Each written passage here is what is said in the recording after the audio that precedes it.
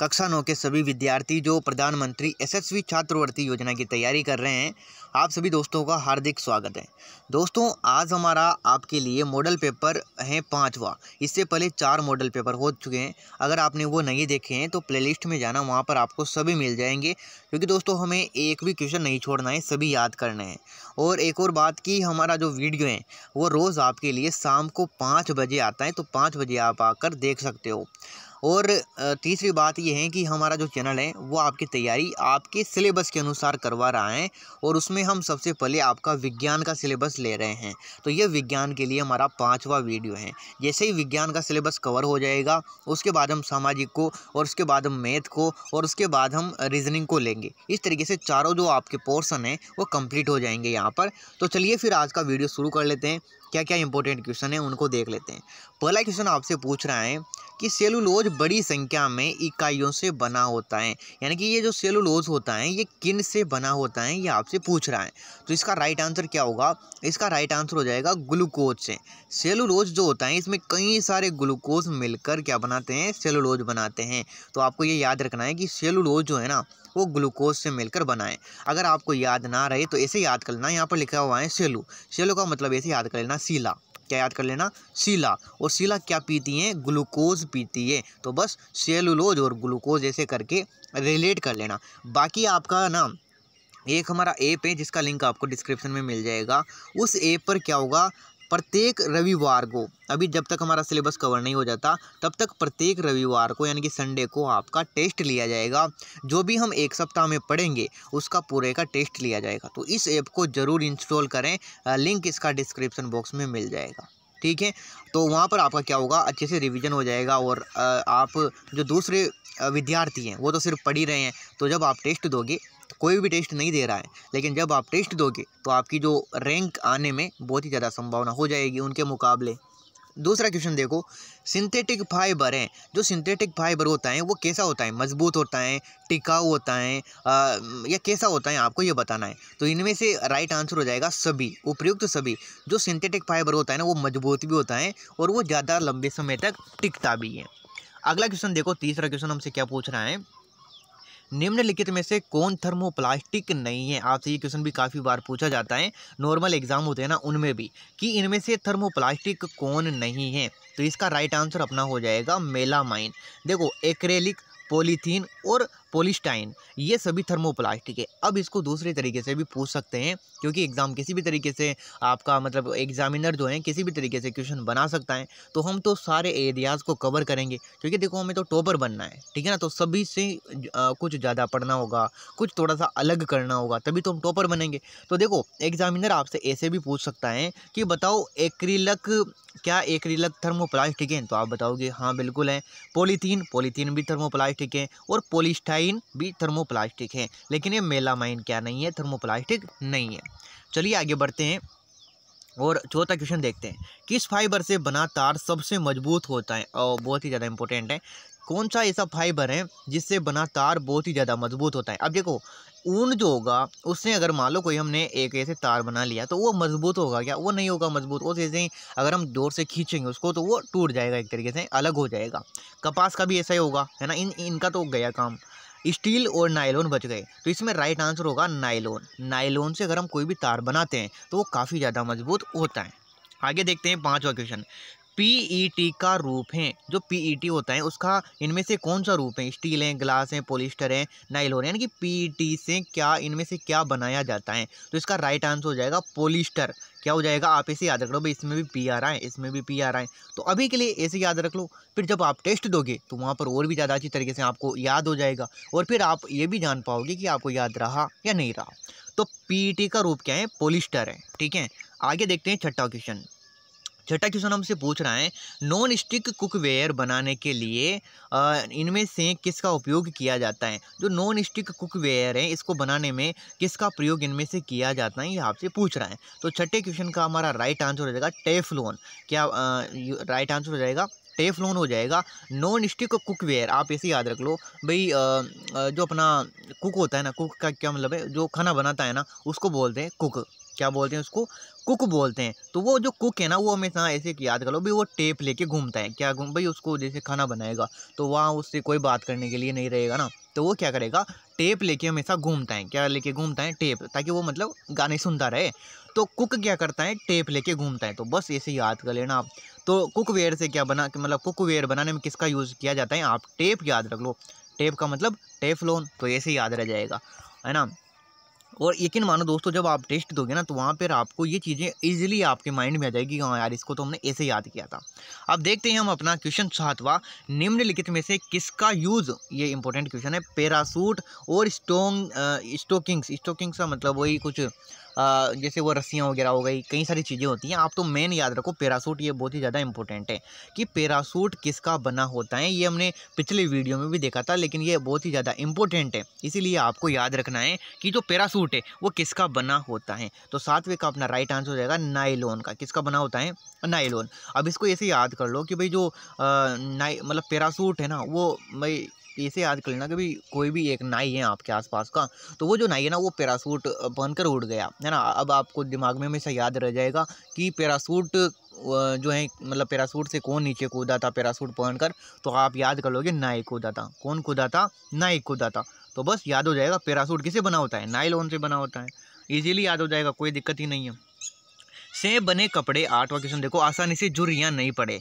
मतलब किससे कौन से ऐसे कपड़े होते हैं जिन जिन मतलब जिनमें आसानी से जुरिया नहीं पड़ती हैं। जुरिया पड़ने का मतलब वो सिकुड़ते इजीली नहीं है। तो ऐसे किसके कपड़े होते हैं, किसके बने होने चाहिए, तब उनमें ऐसा होगा। तो इसका राइट आंसर हो जाएगा नाइलोन भाई जो नाइलोन होता है ना, अगर इसके कपड़े हम पहनेंगे तो वो आसानी से मतलब ऐसे सिकुड़ते नहीं हैं। जैसे हम सूती कपड़े पहने तो वो सिकुड़ जाते हैं ना। तो आप ऐसे याद रखना भाई आप इसको भी ऐसे याद रख लेना भाई, जो नाई लोन है ना, नाई है ना, वो ऐसे कपड़े पहनता है भाई कि वो मतलब यार उसके तो मतलब सिकुड़ते ही नहीं है, हमारे तो सिकुड़ जाते हैं। तो यार आखिर वो कैसे कपड़े पहनता है? तो नाई कैसे कपड़े पहनता है? ऐसे कपड़े पहनता है जिनमें जुर्रियाँ ही नहीं पड़ती। ऐसे याद रख लेना दोस्तों, तभी आपको याद होंगे और क्वेश्चन को ऐसे याद किया जाता है। लकड़ी के गुद्दे का उपयोग निम्न को तैयार करने के लिए किया जाता है। बताओ लकड़ी का जो गुद्दा होता है उसका प्रयोग इनमें से क्या बनाने के लिए या किसके साथ किया जाता है यह आपको बताना है। तो नाइन्थ का अपना राइट आंसर क्या हो जाएगा? नाइन्थ का अपना हो जाएगा रेयोन क्या हो जाएगा? लकड़ी का जो गुद्दा है उसका उपयोग रेयोन को तैयार करने के लिए किया जाता है। किसको तैयार करने के लिए? रेयोन को।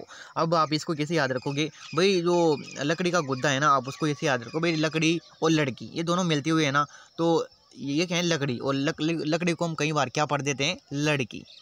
तो लड़की पढ़ देते हैं। अब बताओ इनमें से लड़की का नाम आपको क्या दिख रहा है? रिया। रियोन यानी रिया याद कर लेना। क्या याद करोगे? रिया। तो बस हो गया याद, आपको क्या दिक्कत है? लकड़ी और लड़की। लड़की का मतलब रिया। तो लकड़ी के गुद्दे का उपयोग किया जाता है रियोन के साथ, रियोन को तैयार करने में। आगे देखो। निम्नलिखित में से कौन गर्म करने का गर्म करने पर नर्म हो जाता है और फिर उसे विभिन्न आकारों में ढाला जा सकता है। मतलब इनमें से एक ऐसा प्लास्टिक है जिसको अगर हम गर्म करें तो वो नर्म हो जाएगा और फिर नर्म होने पर हम उसे कोई भी शेप दे सकते हैं तो बताओ इनमें से वो कौन सा है? आपसे ये क्वेश्चन पूछ रहा है। इसका राइट आंसर हो जाएगा थर्मोप्लास्टिक क्या हो जाएगा दोस्तों? थर्मोप्लास्टिक ऐसा है बेचारा जो मतलब आ, मतलब किसी भी रूप में इसको बेचारे को अगर गर्म करें तो ये नरम हो जाएगा। नरम करते हैं फिर बेचारे को किसी भी आकार में हम ढाल सकते हैं। तो ऐसा याद रख सकते हैं कि भाई ये तो ना धर्म एक तरीके से थर्मोप्लास्टिक हैं ऐसे मतलब ये धर्म पर चल रहा है बेचारा। और जो धर्म पर चलता है ना, वो बेचारा नरम ही होता है मतलब वो सीधा साधा होता है। तो ऐसे याद कर लो, धर्म और थर्मोप्लास्टिक है ना? मतलब ऐसे कुछ भी अपनी ट्रिक लगा कर याद करना होगा दोस्तों। वरना वहाँ पर एग्ज़ाम में जब आप जाओगे ना तो कन्फ्यूज़ हो जाते हो कि यार ये राइट होगा या ये राइट होगा। क्लियर अगला क्वेश्चन देखते हैं। निम्नलिखित में से कौन सा एक बार सेट होने पर, गर्म करने पर नरम नहीं होता? अभी हमने देखा कि जो थर्मोप्लास्टिक था, अगर हमने उसको गर्म किया तो वो नरम हो जाएगा बेचारा। लेकिन अब वो बताना है, जो एक बार सेट हो गया ना, अब फिर उसको गर्म करो तो भी वो नरम नहीं होगा। तो बताओ इसका राइट आंसर क्या होगा? इसका राइट आंसर हो जाएगा थर्मोसेटिंग प्लास्टिक देखो इसका तो नाम ही यही है सेटिंग मतलब ये सेट हो गया, अब ये बिगड़ेगा नहीं। हो गया ना याद? वो कौन है जो गर्म करने पर नरम नहीं होता? भाई जो सेट हो गया ना, वो अब नहीं बिगड़ेगा तो सेटिंग हो जाएगा, ठीक है? और जो बिगड़ जाएगा, वो बेचारा धर्म पर चल रहा है तो थर्मोसेटिंग मतलब थर्मोप्लास्टिक हो जाएगा। ठीक है ना? तो ऐसे याद रख लेना, अब इनमें कोई भी दिक्कत नहीं होनी चाहिए। वरना जो बड़े बड़े बच्चे होते हैं ना, उनको भी इसमें दिक्कत होती है। लेकिन आप ऐसे याद करोगे तो कोई दिक्कत नहीं होगी। यही दोस्तों अपने चैनल की खासियतें। आपको याद करवाने की भी कोशिश की जाएगी। खाद्य पदार्थों को प्लास्टिक के कंटेनरों में संग्रहित किया जाता है, क्यों किया जाता है? जो भी खाने की चीज़ें होती हैं, उनको प्लास्टिक के कंटेनरों में मतलब इकट्ठा किया जाता है, उनको जमाया जाता है। तो बताओ ऐसा क्यों किया जाता है? इसके पीछे का आखिर कारण क्या है? इसके पीछे का कारण पूछ रहे हैं आपसे। तो इसका राइट आंसर हो जाएगा, गैर संसारक। क्योंकि वो क्या होते हैं, गैर संक्षारक होते हैं। इसका मतलब है कि अगर हम उन्हें मतलब ये जो प्लास्टिक होते हैं ना, प्लास्टिक के कंटेनर, ये क्या होते हैं, गैर संक्षारक होते हैं। मतलब ये, वो जो भोजन होता है, उसको बचाने के लिए होते हैं, इसलिए हम उनमें रखते हैं। ठीक है? अगला क्वेश्चन देखो तेरहवा क्वेश्चन टूथ ब्रश के ब्रिसल्स बने होते हैं। बहुत ही ज़्यादा इंपॉर्टेंट क्वेश्चन है। जैसे अभी हमने देखा कि वो जो होता है ना, जैसे रस्सियाँ हो गई चढ़ने की, और वो, क्या बोलता, अभी हमने बोला था वो क्या बोलता, उड़ने का वो पैरासूट। तो वो किससे बना होता था? हमने देखा था कि पैरासूट कौन उड़ाता, पैरासूट पहनकर नाई उड़ा था तो अब हमें बताना है कि जो टूथ ब्रश होता है ना, उसके वो जो दांत होते हैं ना, वो किसके बने होते हैं? ये हमें बताना है। तो इसका राइट आंसर हो जाएगा, वो भी नाइलोन के बने होते हैं। यानी कि ब्रश भी कौन कर रहा है? नाई कर रहा है। उड़ भी कौन रहा है? नाई उड़ रहा है। और वो एक शर्ट पहनी थी जो कभी क्या बोलते हैं, वो सिकुड़ती नहीं है। वो भी कौन पहरा हुआ था? नाई पहरा हुआ था। यानी कि नाइलोन इसका भी राइट आंसर हो जाएगा। बताओ, याद हो रहे हैं कि नहीं हो रहे हैं? हो रहे हैं ना? तो ज़रूर होंगे पूरे के पूरे। निम्नलिखित में से किसे पुनर्चक्रित किया जा सकता है? मतलब वापस पुनर्चक्रित, वापस उसको बनाया जा सकता है, उसको यूज़ किया जा सकता है। तो बताओ इसमें से ऐसा कौन है जिनको पुनर्चक्रित कर सकते हैं? तो वो हो जाएगा टेलीफोन उपकरण। जो टेलीफोन होता है ना, उसके जो भी उपकरण है ना, उनको हम दोबारा से मतलब यूज़ में ला सकते हैं। तो प्लास्टिक की कुर्सियाँ जैसे टूट गई तो फिर उनको कैसे लाएँगे? कैरी बैग भी नहीं ला सकते, कुकर हैंडल भी नहीं कर सकते। लेकिन जो टेलीफोन के उपकरण है ना, जैसे मान लो कोई भी सा उसका टूट गया तो फिर हम उसको दोबारा रिपेयर करके और किसी में लगा देंगे या ऐसे उसका दोबारा यूज़ कर सकते हैं। तो इसे याद रख लेना। कैर इनमें ये आपको रटने की ज़रूरत नहीं है। ये तो क्या है ना, वहाँ पर उदाहरण कोई सा भी रख देंगे। तो ये तो आपको बस थोड़ा सा दिमाग में बैठाने की ज़रूरत है।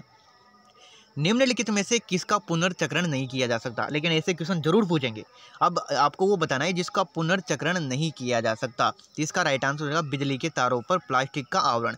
जो बिजली के तार होते हैं उन पर जो प्लास्टिक का वो छड़ा होता है ना, जैसे काले हो गए, लाल हो गए, नीले हो गए, उन पर वो जो प्लास्टिक का वो छड़ा होता है, अगर मान लो वो बिखर गए एक तरीके से, वो उतर गए तो उनको हम दोबारा यूज़ कर सकते हैं या नहीं? नहीं कर सकते। तो ये राइट आंसर हो जाएगा, इनका हम पुनर्चक्रण नहीं कर सकते। अगला क्वेश्चन देखो, वह रेसा जो जलते हुए कागज़ की गंद के साथ आसानी से जल जाता है। वह रेसा जो जलते हुए कागज़ की गंद के साथ में आसानी से जल जाता है, उस रेसे का नाम आपको क्या करना है? उस रेसे का नाम आपको बताना है। इसका राइट आंसर क्या होगा? इसका भी राइट आंसर हो जाएगा कपास। क्या है ये कपास ना कोई भी कागज़ जल रहा है तो उसकी गंद के साथ में ही आसानी से ये जल जाएगा। ऐसे कुछ भी याद रख लो आप तो ये तो बहुत ही आसान है वैसे। निम्नलिखित में से कौन थर्मोसेटिंग प्लास्टिक है? बहुत ही ज़्यादा इंपॉर्टेंट अब आ, आपको बताना है अभी हमने चलो आप ना ऐसे जब पढ़ो ना तो ये भी ज़रूर अपने माइंड में लाया करो कि थर्मोसेटिंग प्लास्टिक है। इससे संबंधित अभी हमने क्या देखा था क्वेश्चन अभी हमने देखा था कि जो थर्मोप्लास्टिक थर्मोसेटिंग प्लास्टिक होता है ये एक बार सेट होने पर क्या होता है फिर बिगड़ता नहीं है, फिर नर्म नहीं होता है। पढ़ा था ना? तो इसे मतलब थोड़ा बहुत रिकॉल किया करो। तो इनमें से कौन थर्मोसेटिंग प्लास्टिक है, वो अब आपसे पूछ रहा है तो इसका राइट आंसर हो जाएगा बेकेलाइट क्या है? बेकेलाइट क्या है? थर्मोसेटिंग प्लास्टिक है। अब आप ऐसे भी याद रख सकते हो, वो कि भाई देखो थर्मोसेटिंग जो प्लास्टिक होता है, वो एक बार सेट हो गया तो फिर वो क्या होगा? दोबारा नहीं बिगड़ेगा। तो यानी कि वो वापस बेक में नहीं आएगा। यहाँ पर क्या लिख रहा है? बेक लिख रहा है ना? तो वापस वो बेक नहीं आएगा। ऐसे याद कर लेना। तो बेकेलाइट क्या है एक थर्मोसेटिंग प्लास्टिक है निम्नलिखित में से कौन सा जानवर के बालों से प्राप्त होता है? बहुत ही ज़्यादा इंपॉर्टेंट है कि जानवर के बालों से इनमें से कौन आ, क्या होता है? हमें प्राप्त होता है। भाई देखो नाइनोल तो होगा नहीं। ये तो सब मतलब, मतलब क्या बोलते हैं उन्हें? फैक्ट्रियों में कारखानों में इनमें बनाए जाते हैं तो ये तो होगा नहीं। रेशम भी नहीं है है ना? रेशम तो कीड़ों से उनसे मिलता है कपास भी पौधों से मिलता है। लेकिन ऊन आपको बताएँ कि जानवर के बालों से मिलता है। भाई अपने भेड़ हो गई इनसे इन्हीं से तो ऊन निकाला जाता है। तो ये तो बहुत ही एजुकेशन था। इनमें से कौन सा रेशा पौधों से प्राप्त कच्चे माल से प्राप्त होता है? यानी कि पौधों से प्राप्त होता है। अब देखो ये पो, ये पोलिस्टर टेरिलेन नाइलोन ये तो सभी क्या हैं? ये तो संश्लेषित एक तरीके से रेसे हैं जो मशीनों में इनमें बनाए जाते हैं। लेकिन यहाँ पर वो बताना है जो पौधों से में प्राप्त होता है तो उन्नीसवें का राइट आंसर क्या हो जाएगा? रियोन हो जाएगा। क्या हो जाएगा? रियो रियोन हो जाएगा। तो आप ऐसे भी याद रखते हो भाई रिया है ना उसको क्या है ना जान मतलब पौधे बहुत ही ज़्यादा मतलब वो आ, क्या बोलते हैं उन्हें ट्री लवर हैं, क्या है, वो ट्री लवर हैं, वो पौधों को बहुत ही ज़्यादा पसंद करती हैं, बहुत ही ज़्यादा मतलब हरियाली को पसंद करती हैं। कौन? रिया। रिया, ठीक है ना? निम्नलिखित में से कौन सा फाइबर सिंथेटिक है? अब आपको वो फाइबर बताना है जो सिंथेटिक है तो इसका अपना राइट आंसर क्या होगा? हो जाएगा नाइलॉन नाइलॉन क्या है? एक सिंथेटिक फाइबर है। जैसे सिंथेटिक का मतलब है, जो हमें मतलब मशीनों, मशीन से द्वारा बनाया जाता है या फैक्ट्रियों में या कारखानों में बनाया जाता है। अब देखो ये प्राकृतिक हैं, ये तो पेड़ पौधों से मिलता है, जूट भी पेड़ पौधों से मिलेगा, रेशम भी पेड़ पौधों से। तो ये सभी क्या है? ये सभी तो प्रकृति से हमें मिल रहे हैं, लेकिन वो फाइबर जो हमें, जो मनुष्य द्वारा बनाया जा रहा है तो वो क्या होगा? सिंथेटिक फाइबर हो जाएगा। तो नाइलॉन क्या है? एक सिंथेटिक फाइबर है। निम्नलिखित में से कौन सा फाइबर प्राकृतिक बहुलक है? अब आपसे पूछा है प्राकृतिक। तो देखो ये सभी तो वही मनुष्य के द्वारा बनाए जाते हैं लेकिन ये कपास है ना ये एक प्राकृतिक बहुलक है ठीक है? तो ये तो आसानी से आप कर ही दोगे। निम्नलिखित में से कौन सा बायोडिग्रेबल नहीं है? यानी कि जिसको मतलब वो जो जीव वगैरह होते हैं आ, वो उसको क्या करते हैं मतलब वो नष्ट नहीं कर सकते। वो आपको बताना है। यानी कि हम फेंक जैसे मान लो आपने थैली फेंक दी कहीं पर। अब वो जो थैली होती है ना, वो उनको कीड़े, जो भी छोटे छोटे कीड़े होते हैं ना, वो उसको समाप्त नहीं कर सकते। तो ये थैली क्या होती है? यानी कि पॉलीथीन क्या होती है? बायोडिग्रेबल नहीं है। यानी कि ये नॉन बायोडिग्रेबल हैं। तो आपको वही बताना है, इनमें से कौन नॉन बायोडिग्रेबल हैं? तो बाईसवें का अपना राइट आंसर हो जाएगा, एल्यूमिनियम की जो पन्नी होती है ना, वो क्या होती है? बायोडिग्रेबल नहीं है। यानी कि इसको ये समाप्त नहीं होती हैं, लेकिन कागज़ हैं, ये धीरे धीरे समाप्त हो जाएगा। मतलब जैसे कहीं पर कागज़ डाल दो, वो थोड़े दिनों बाद गायब हो जाएगा। गोबर, सड़े हुए फल, ये सभी तो बायोडिग्रेबल हैं। लेकिन एल्यूमिनियम की पन्नी क्या है? बायोडिग्रेबल नहीं है, यानी कि वो समाप्त नहीं होती। अब इसमें से आपको बताना है कि जो रियोन है, अभी हमने पढ़ा था, रिया क्या है? पेड़ पौधों की मतलब बहुत ही ज़्यादा उसको पेड़ पौधों की लवर है एक तरीके से वो पेड़ पौधों को बहुत ही ज़्यादा पसंद करती हैं। तो अब इनमें से बताओ कि जो रियोन है वो क्या है, आपको बताना है। तो तेईसवें का अपना राइट आंसर हो जाएगा, ये कृत्रिम है। क्या है ये? कृत्रिम है। नाइलोन भी नहीं है, कृत्रिम नाइलोन भी नहीं है तो ये कृत्रिम हो जाएगा एक तरीके से। अगला क्वेश्चन देखो चौबीसवा पौधों में मौजूद पॉलीमर हैं। जो पौधों में पॉलीमर पाया जाता है, वो क्या है? तो इसमें अपना राइट आंसर का वो सेलुलोज है। क्या है? सेलुलोज पॉलीमर क्या होता है? सेलुलोज होता है वो। क्या होता है दोस्तों? सेलुलोज अगला क्वेश्चन है प्राकृतिक पदार्थ. अब देखो क्या क्वेश्चन पूछ रहा है। बहुत ही ज़्यादा ईजी है ना? प्रकृति के द्वारा जो प्राप्त होता है प्लास्टिक तो प्रकृति से मिलेगी नहीं तो गलत हो जाएगा। सीमेंट भी नहीं मिलेगा ग्लास भी नहीं मिलेगा तो लकड़ी क्या हो जाएगा? राइट आंसर हो जाएगा हमारा कि लकड़ी किससे मिलती है? प्रकृति से ही मिलती है। लकड़ी में मौजूद पोलीमर हैं। अब अभी हमने देखा कि पेड़ों में जो पोलीमर मिलता है, वो क्या था? अब हम, हमसे पूछ रहे हैं कि लकड़ी में जो पॉलीमर मिलता है, वो क्या होता है? तो राइट आंसर उसका हो जाएगा सेलुलोज होता है वो भी। क्या होता है? उसमें भी सेलुलोज था और इसमें भी सेलुलोज ही था। निम्नलिखित में से कौन सा कचरा बायोडिग्रेबल है? अब बायोडिग्रेबल का मतलब अभी हमने समझा था। यानी कि जो छोटे छोटे जो जीव जो, जीव होते हैं ना, उनके द्वारा जिसको समाप्त किया जा सकता है वो होता है बायोडिग्रेबल तो बताओ इनमें से कौन सा बायोडिग्रेबल होगा? भाई लोहा तो समाप्त होगा नहीं सीमेंट फल के छिलके, फल के छिलके समाप्त हो जाएँगे तो ये अपना राइट आंसर हो जाएगा सत्ताईसवें का बी यानी कि फल के छिलके क्या हैं? बायोडिग्रेबल होते हैं. पोलीकोट एक मिश्रण है. अब जो पोलीकोट होता है, वो इनमें से किस का मिश्रण है? यानी कि वो किस किस से मिलकर बना होता है? तो पोलीकोट मिलकर बना होता है पोलिएस्टर और कपास से. किससे मिलकर बना होता है, पोलिएस्टर और कपास से मिलकर बना होता है, क्या? पोलीकोट। तो ये इसको ज़रूर याद रखें, पोलिएस्टर और कपास से मिलकर बना होता है। पोलीऊल मिश्रण है। अब आपसे पूछ रहे हैं कि जो पोलीऊल होता है, वो किससे मिलकर बना होता है? तो वो बना होता है पोलिएस्टर और ऊन से मिलकर। अब देखो, जैसे ऊल का मतलब क्या होता है? ऊन होता है। तो बस ऐसे याद कर लो। और पोली का मतलब पोलिएस्टर कर लो। तो पोलिएस्टर और ऊन हो जाएगा। यही तो आपको याद करना है। ऊन जैसा दिखने वाला सिंथेटिक फाइबर क्या? मतलब इनमें से कौन है? जो ऊन के जैसा दिखता है। तो तीसरे का अपना राइट आंसर हो जाएगा एक्रेलिक ये जो एक्रेलिक होता है, वो ऊन के जैसा दिखता है। अब इसको ऐसे याद करो, भाई ऊन के जैसा, यानी कि एक जैसा है ऊन और एक्रेलिक एक जैसा है। क्या है ये? एक जैसा एक जैसा, एक यानी एक जैसा। किसके जैसा? ऊन के जैसा। अगला क्वेश्चन देखो। अब ये दूसरे चैप्टर के क्वेश्चन आ गए आपके। वह धातु जिसमें तनु के साथ हाइड्रोजन के बुलबुले बनने की दर सबसे ज़्यादा होती है तो वो धातु आपको बतानी है। जो तनु के साथ में हाइड्रोजन के बुलबुले बनने की दर सबसे तेज होती है एच सी एल है। बताओ इनमें से वो कौन सी है? तो पहले का अपना राइट आंसर अब होगा मैग्नीशियम मैग्नीशियम वो धातु है जिसमें तनु के साथ हाइड्रोजन के बुलबुले बनने की दर सबसे ज़्यादा होती है। जो दोस्त अभी तक भी टिक रहा है ना, आप मान के चलो, अभी तक ना, जैसे मान लो अगर इस वीडियो को स्टार्टिंग में सौ लोग भी देख रहे होंगे तो मान के चलो अभी ना मिनिमम मतलब बीस परसेंट बीस परसेंट भी ज़्यादा हो गए।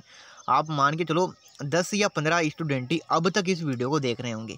इसका मतलब है, अब देखो दोस्तों, वो जो इनाम मिलेगा ना, वो भी सिर्फ़ इतने को ही मिलेगा, सभी को थोड़े ना देंगे। तो अब मान लो वो जो बच्चे हुए जो विद्यार्थी थे, वो भग गए।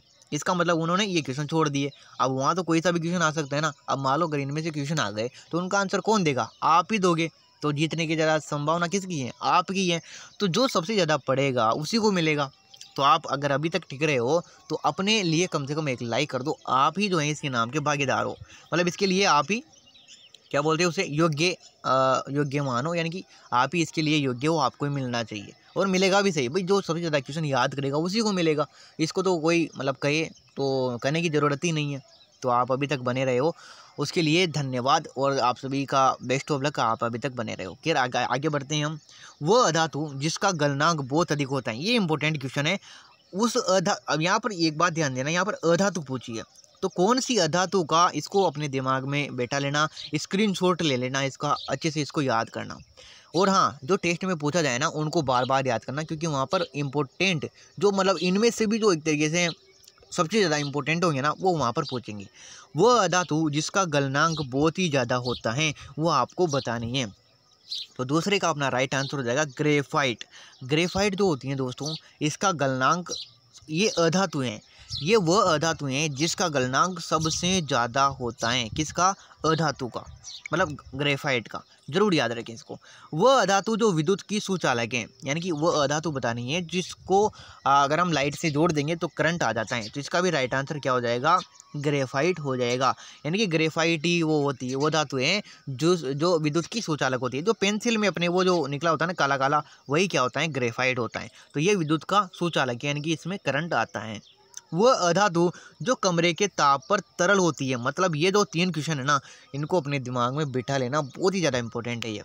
वह अधातु जो कमरे के तापमान पर तरल होती हैं, आपको बताना है। तो चौथे का अपना राइट आंसर क्या होगा? ब्रोमीन हो जाएगा। क्या हो जाएगा? ब्रोमीन। अब देखो इसको तो यदि ऐसे याद रख लोगे अधातु तो आप ज़रूर याद रखना। मीन क्या होती है? मछली होती है। और मछली कैसे, किसमें तैरती है? पानी में। पानी कैसा होता है? तरल। तो बस ऐसे याद रख लेना। अधातु जो कमरे के तापमान पर तरल रहती हैं, तरल हो जाएगी ब्रोमीन। ठीक है, याद हो गया ना? आगे बढ़ते हैं। क्लोरीन का रंग कैसा होता है? किसका रंग पूछ रहे हैं? क्लोरीन का। तो क्लोरीन का कलर पूछ रहे हैं आपसे तो इसका अपना राइट आंसर हो जाएगा पीला और हरा। पीला और हरा होता है क्लोरीन का रंग। कैसा होता है? क्लोरीन। क्लोरीन हो जाएगा पीला हरा। पीला हरा थोड़ा सा इसे याद रख लो, कैसे भी करके। लेकिन याद रखना है भैया आपको, वह धातु जिसे पैकेट में संग्रहित नहीं किया जा सकता। अब उस धातु का नाम आपको बताना है जिसे हम पैकेट में नहीं पैक कर सकते। तो ऐसी कौन सी धातु हैं? वो है सोडियम। कौन सी धातु है? सोडियम को हम पेटी सॉरी जो पैकिंग नहीं कर सकते एक तरीके से पैकेट में। अगला क्वेश्चन है, वह धातु जो उष्मा का सबसे खराब चालक है, यानी कि एक तो होता है सबसे ज़्यादा चालक, जिसमें बहुत ही ज़्यादा करंट आ जाता है। लेकिन अब आपको वो बताना है, जिसमें एक तरीके से करंट नाम मात्र का आता है तो वो कौन सी धातु है? वो हो जाएगी सीसा। अब बताओ, कांच में करंट आएगा कि नहीं आएगा? तो सबसे खराब धातु कौन सी हो जाएगी? सीसा हो जाएगी। धातुओं के द्वारा ध्वनि उत्पन्न करने के गुण को क्या कहते हैं? मतलब जैसे आप, जैसे मंदिर का, जैसे लोहा ही, मान लो, लोहे में आपने मारा, पीटा इसको तो वो टन की आवाज़ आएगी ना? तो इस गुण को क्या बोलते हैं? यही आपसे पूछा है। इस गुण को बोलते हैं ध्वनिहीनता। क्या बोलते हैं? ध्वनिहीनता बोलते हैं इसको। अगला क्वेश्चन है, गुण को कहा जाता है उत्पन्न करने की, ध्वनिहीनता। चलो यही ठीक है अपनी, अभी के लिए। वह धातु जो हवा के साथ प्रतिक्रिया करके अपनी सतह पर एक सुरक्षात्मक परत विकसित करती है उसको क्या बोलते हैं? वो कौन सी धातु हैं जो हवा के साथ प्रतिक्रिया करती हैं? है ना? हवा के साथ एक तरीके से उसका मिश्रण होता है। और इसके साथ प्रतिक्रिया करके अपनी सतह पर सुरक्षात्मक परत विकसित करती हैं तो वो धातु कौन सी है? तो इसका राइट आंसर हो जाएगा एलुमिनियम कौन सी धातु है? एलुमिनियम धातु है। इसके साथ, इससे ये क्या है? मतलब ये ये है कि जैसे मान लो कोई लोहा है, ये लोहा है, अब लोहे के ऊपर अगर हम एल्यूमिनियम की परत चढ़ा देंगे तो फिर इसके ऊपर काट, जो वो होता है ना, काट, क्या मतलब वो क्या बोलते हैं उसको? जंग। वो जंग नहीं लगेगा। है ना? तो ये प्रतिक्रिया करती हैं हवा के साथ में और एक तरीके से सुरक्षात्मक झिल्ली बना लेती हैं। अगर हम लोहे को खुला छोड़ेंगे तो इस पर वो जो है जंग लग जाएगा। तो एल्यूमिनियम की जो परत होती है ना, उससे जंग नहीं लगता। वो हवा के साथ प्रतिक्रिया करके एक तरीके से दीवार बना लेती हैं। ऐसे ये पूछ रहा है। हवा, पानी और अम्ल से संक्षारण नहीं होने वाली धातु कौन सी है? मतलब वो धातु आपको बतानी है, जो हवा, पानी और अम्ल से उसको कोई फ़र्क नहीं पड़ता। जैसे लोहा है, वो तो धीरे धीरे मतलब एक तरीके से उस पर जंग लग जाता है। लेकिन वो धातु बतानी है, जिस पर कोई प्रभाव नहीं पड़ता। तो दसवीं का अपना राइट आंसर हो जाएगा जिंक। जिंक जो होता है ना, इस पर हवा, पानी, इनका कोई भी प्रभाव नहीं पड़ता। तो जिंक अपना राइट आंसर सॉरी जिंक नहीं होगा इसका राइट आंसर तीसवें का राइट आंसर अपना एक मिनट एक minute A B C D ठीक है। इसमें थोड़ा सा ऑप्शन में गलती हो गई। तो जो सोना होता है इनमें से, सोना। इसमें थोड़ा सा कन्फ्यूज़न है, इसको भी के लिए छोड़ दो, ठीक है ना? किट सोना होना चाहिए, लेकिन कोई बात नहीं। वो धातु जो नरम है, ये तो हमने अब पिछले वीडियो में भी पढ़ा था। ऐसी कौन सी धातु भाई देखो, जो धातुएँ होती है ना, वो कठोर होती है। लेकिन कुछ अपवाद होते हैं तो यही एक अपवाद है, और वही अपवाद आपसे पूछे जाते हैं। तो आपको बताना है कि इनमें से कौन सी धातु है जो कठोर होती है? तो हमने पढ़ा था सोडियम जो धातु होती है, वो कठोर होती है। आगे देखो, सही कथन आपको बताना है, ऐसे भी क्वेश्चन पूछे जाएँगे। सभी धातुएँ तन्ने होती हैं आमतौर पर धातुएँ तन्ने होती है, सभी गैर धातुएँ तन्ने होती हैं, कुछ गैर धातुएँ तन्ने होती है। तन्ने का मतलब जैसे ये तार है, इसको खींचा जा सकता है, खींचने पर ये लंबा हो जाएगा, इसको बोलते हैं तन्नेता तो बताओ क्या सभी धातुएँ तन्ने होती हैं? इसका राइट आंसर आपको बताना है। इसका राइट आंसर हो जाएगा, क्या हो जाएगा इसका राइट आंसर इसका राइट आंसर हो जाएगा सी आमतौर पर जो धातुएँ होती हैं ना, वो तन्ने होती हैं, लेकिन कुछ ऐसी भी धातुएँ होती हैं जो तन्ने नहीं होती, इसीलिए सभी धातुएँ नहीं होती, लेकिन ज़्यादातर धातुएँ तन्ने होती हैं। जब आयरन सल्फेट के घोल में तांबा मिलाया जाता है तो क्या होता है बताओ? अगर आयरन सल्फेट का एक घोल कर लिया हमने, उसमें हमने मिला दिया तांबा तो अब आगे क्या होगा? तो उसमें क्या होगा? कोई भी प्रतिक्रिया नहीं होगी। अगला क्वेश्चन देखो। निम्नलिखित में, निम्नलिखित को उनकी घटती रासायनिक गतिविधि के क्रम में व्यवस्थित करें। मैग्नीशियम, पोटेशियम, लोहा और सोना, इनको, इनकी रासायनिक गतिविधि के घटते हुए क्रम में आपको जमाना है। तो इसका कैसे जमाएँगे हम? राइट आंसर क्या होगा? इसको सबसे पहले पोटेशियम, फिर क्या होगा? मैग्नीशियम, फिर लोहा और फिर सोना। ये इनका सही क्रम हो जाएगा। आगे देखो पंद्रवा, धातुओं के बारे में, इनमें से कौन सा कथन सत्य है जो धातुओं के बारे में सही कह रहा है? तो इसका राइट आंसर अपना हो जाएगा कि धातुएँ आमतौर पर चमकदार होती हैं।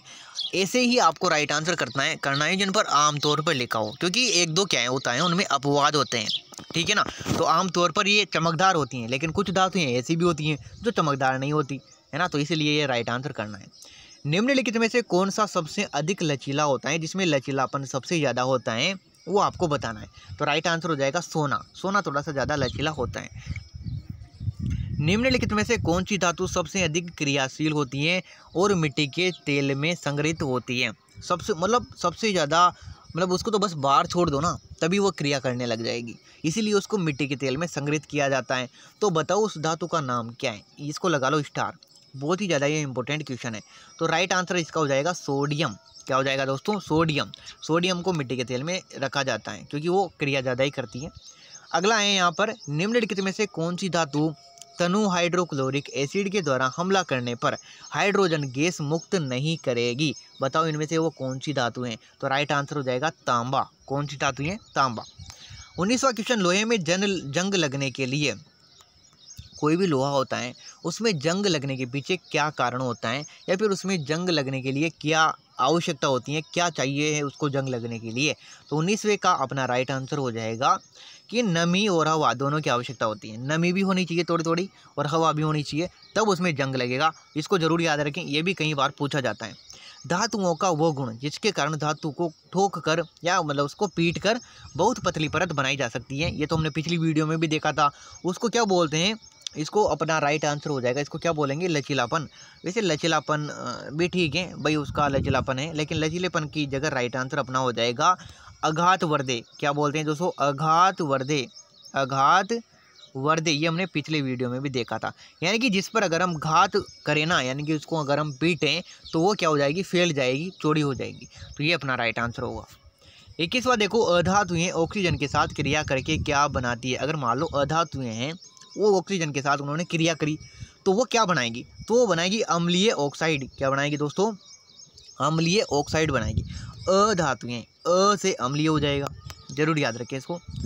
धातुएँ ऑक्सीजन के साथ में क्रिया। अभी हमने देखा था अधातुएँ। लेकिन अभी हमसे पूछ रहे हैं धातुएँ दोनों क्वेश्चन को मैंने एक साथ लिख दिया ताकि आपको कोई दिक्कत नहीं हो। तो धातुएँ कौन सी हैं जो हम अगर बार ऑक्सीजन के साथ में क्रिया करें तो वो क्या बनाएगी? वो क्या बनाएगी? वो आपको बताना है। तो बाईसवें का राइट आंसर क्या होगा अपना? तटस्थ ऑक्साइड क्या बनाएगी? तटस्थ ऑक्साइड बनाएगी, यानी कि ना तो अम्लीय ऑक्साइड बनाएगी और ना ही क्षारीय ऑक्साइड बनाएगी। मतलब एक होता है ना, वो ना तो खट्टा होगा, ना ही मतलब एक तरीके से कड़वा होगा, वो ऑक्साइड ये बनाएगी, ठीक है ना? ये आपको याद रखना है। और अधातुएँ अ से अधातुएँ अ से अम्लीय। तो अधातुएँ तो कौन सा ऑक्साइड बनाएगी? अम्लीय बनाएगी। लेकिन धातुएँ तटस्थ ऑक्साइड बनाएगी, ना तो खट्टा और ना ही कड़वा। धातुएँ लंबे तार बना सकती हैं। धातुओं के इस गुण को क्या बोलते हैं? अभी हमने देखा ही था। एक तो था अघात वर्दे। लेकिन तेईसवें का राइट आंसर क्या होगा? इसका हो जाएगा लचीलापन। ये गलत है यार। नहीं, लचीलापन। ये गलत यहाँ पर दिया उसको बोलते तनु। नहीं, इसको क्या बोलते तनु। ऐसे कुछ इसका नाम है। तनु तनुता या हाँ तनु याद रख लो आप तो ठीक है ना? तो धातु धातुएँ लंबा तार बन जाती हैं, इसको अभी हमने देखा भी था कि तनु बोलते हैं इसको, तनुकरण होता है इनमें, और जो पीट कर जिनको चौड़ा किया जा सकता है, उनको बोलते हैं अघात वर्दे अगला क्वेश्चन देखो, सबसे अच्छा विद्युत का चालक कौन सा है? यानी कि जिस पर मतलब विद्युत का सबसे ज़्यादा करंट वो लेता है, जो सबसे ज़्यादा सुचालक होता है, वो आपको बताना है। तो चौबीसवें का राइट आंसर हो जाएगा चांदी। चांदी में सबसे ज़्यादा करंट आता है, जैसे मान लो एक तार है ये लाइट है, लाइट का तार। यहाँ से करंट छोड़ा जाए ना तो मान लो, जैसे ये है तांबे का तार है, इसमें करंट पहुँचना है दस सेकेंड में। इसकी जगह अगर हम चांदी के तार को लगा देंगे ना तो ये पाँच सेकंड में पहुँच जाएगा। तो सबसे ज़्यादा सुचालक कौन हुआ? चांदी। तो यही आपसे पूछ रहा है। चांदी सबसे ज़्यादा सुचालक होती है। निम्नलिखित में से किसे पीट कर पतली सीट बनाई जा सकती है? जैसे मान लो ऑक्सीजन है, इसको पीटा जा सकता है क्या? नहीं पीटा जा सकता तो ये गलत हो जाएगा। तो बताओ फिर इनमें से ऐसी कौन सी धातु हैं, या कौन सा पदार्थ है इनमें से, जिसको अगर हम पीटें तो वो लंबी चौड़ी पट्टी बन जाएगी सीड बन जाएगी तो इसका राइट आंसर हो जाएगा एल्यूमिनियम क्या हो जाएगा दोस्तों? एल्यूमिनियम अगला क्वेश्चन है, वह धातु जो ठंडे पानी के साथ में तीव्र प्रतिक्रिया करती है, ये तो हमने पिछले वीडियो में भी देखा था तो पानी के साथ में कौन क्रिया करता है इनमें से? राइट आंसर हो जाएगा सोडियम आपको बताएँ सोडियम को तो बाहर छोड़ दो बस, वो जल्दी से जो है अपना काम करना शुरू कर देगा। एक तरल धातु है वह धातु जो तरल है, अब यहाँ पर आप ब्रोमीन मत कर देना कि भाई हाँ मीन का मतलब होता है मछली और मछली रहती है पानी में और पानी तो तरल है। नहीं, वो अधातु पूछी थी आपसे। क्या पूछी थी आपसे? अधातु पूछी थी। लेकिन इसमें क्या पूछ रहे हैं? धातु पूछ रहे हैं। तो वो होगी पारा। ये तो हमने पिछले वीडियो में भी डिस्कस किया था। और इसको ऐसे याद कर लेना। अब इसको याद करने की ट्रिक बता रहा हूँ। इसीलिए तो मैं कह रहा हूँ दोस्तों वीडियो देखने का और हमारे साथ पढ़ने का यही आपको फ़ायदा है। अभी देखना, इनमें आपका कन्फ्यूज़न भी दूर होगा और आपको ये अभी के भी याद होगा। अभी हम यहाँ पर इस वीडियो को ध्यान से देखना। यहाँ पर हम लिखते हैं धातु। क्या लिखते हैं? धातु। यहाँ पर हम लिखते हैं अधातु। अभी के अभी देखना याद होगा आपको। अधातु। लिख दिया। अब इसमें बच्चों को बहुत ही ज़्यादा कन्फ्यूज़ होता है कन्फ्यूज़न होता है और बच्चे एग्ज़ाम में गलत करके आते हैं। एक तरफ़ है पारा। क्या है एक तरफ़? पारा। और एक तरफ़ है ब्रोमीन क्या है दोस्तों? ब्रोमीन। ये दोनों क्या हैं? तरल हैं। क्या है? तरल हैं। ठीक है ना? अब देखो यहाँ पर क्या हमने किया, उसको ध्यान से देखना। ये धातु हैं और ये अधातु हैं। धातु, ये पारा एक धातु हैं जो तरल हैं और ब्रोमीन एक अधातु हैं जो क्या है? तरल है। लेकिन इनको कैसे याद करोगे? तो देखो ध्यान से। पारा में कितने शब्द हैं? दो। धातु में कितने शब्द हैं? दो। तो पारा में भी दो शब्द, धातु में भी दो शब्द, इसीलिए इसके साथ हो जाएगा। ब्रोन मीन में तीन शब्द और अधातु में भी तीन शब्द तो ये इसके साथ में हो जाएगा। अब बताओ आपको कोई दिक्कत होगी क्या? आपको कन्फ्यूज़न होगा क्या? नहीं होगा। तो बस, अब जिन्होंने भी लास्ट तक वीडियो देख रहे हैं, उनको तो याद हो गई, उनको तो कोई दिक्कत भी नहीं होगी। लेकिन जिन्होंने नहीं देखा, भग गए तो रोए तो रोते रह जाएँगे एग्ज़ाम में फेल होंगे। और ये क्वेश्चन तो आता ही आता है और बच्चों को दिक्कत भी होती है। तो बताओ आपको इसमें अब दिक्कत होगी क्या? आपसे पूछे कि वो कौन सी धातु हैं जो तरल होती हैं? तो धातु में हैं दो शब्द तो हो जाएगा पारा। वो कौन सी अधातु हैं जो तरल होती हैं? तो अधातु में हैं तीन शब्द तो इसका हो जाएगा ब्रोमीन। बस हो गया याद। आगे बढ़ते हैं। तो अगर पसंद आया ना वीडियो तो लाइक वगैरह कर देना। जब धातुएँ सोडियम हाइड्रोक्साइड के साथ अभिक्रिया करती हैं तो उत्पन्न होने वाली गैस होती हैं। मतलब धातुएँ, अगर मान लो सोडियम हाइड्रोक्साइड के साथ इनमें अभिक्रिया करी तो बताओ कौन सी गैस उत्पन्न होगी, वो आपको बतानी है। तो अट्ठाईसवें का राइट आंसर क्या हो जाएगा? वो हो जाएगा अपना सॉरी ये नहीं हाइड्रोजन क्या उत्पन्न करती है वो गैस? हाइड्रोजन गैस उत्पन्न करती है। जब धातुएँ तनु अम्लों के साथ अभिक्रिया करती हैं तो कौन सी गैस उत्पन्न करती है? जिसका राइट आंसर हो जाएगा हाइड्रोजन ही करती है। कौन सी गैस? हाइड्रोजन। लास्ट क्वेश्चन आज का, सल्फ़र गर्म सांद्र नाइट्रिक एसिड के साथ प्रतिक्रिया करता है और उत्पन्न करता है। यानी कि जो सल्फ़र होता है ना, वो नाइट्रिक एक, जो एसिड होता है उसके साथ में क्रिया करके क्या उत्पन्न करता है तो वो करता है सल्फ़र डाइऑक्साइड और नाइट्रोजन ऑक्साइड। कोई बात नहीं याद ना हो तो इतने बड़े क्वेश्चन को टेंशन भी मतलब जितने याद हो सके हो सकते हैं ना अपने को तो उतने ही करने हैं। तो दोस्तों आज का वीडियो बस इतना ही। आपको वीडियो कैसा लगा कमेंट करके ज़रूर याद मतलब कुछ भी लिख दें कमेंट में अपना राज्य का नाम ही लिख दें अपना नाम ही लिख दें आपको कितने क्वेश्चन आए वही लिख दें और बढ़िया लगाओ तो अच्छा सा कमेंट ही कर दें लेकिन कमेंट ज़रूर करें। बाकी मेरी भगवान से यही दुआ है कि आपके ना फ़र्स्ट रैंक आए फ़र्स्ट रैंक ना भी आए तो भी आपको जो इनाम है ना, जो मिलने हैं सेवेंटी फाइव थाउज़ेंड ये आपको ही मिले, जो वीडियो को लास्ट तक देख रहे हैं। भाई देखो, मेहनत तो आप ही कर रहे हो, जो पहले ही भग गए, वो मेहनत कहाँ कर रहे हैं? तो फिर मेहनत का फल तो आपको ही मिलना चाहिए तो आपको ही मिलेगा। टेस्ट ज़रूर दें लिंक डिस्क्रिप्शन बॉक्स में। पीडीएफ प्राप्त करना चाहते हैं तो वो भी आपको हमारे ऐप पर ही मिलेगी। ठीक है तो इनको ज़रूर प्राप्त करें आप। मिलते हैं अब नेक्स्ट वीडियो में। कल वापस शाम को पाँच बजे। तब तक के लिए इन क्वेश्चनों को ज़रूर याद करें। Thank you so much video को लाइट तक देखने के लिए।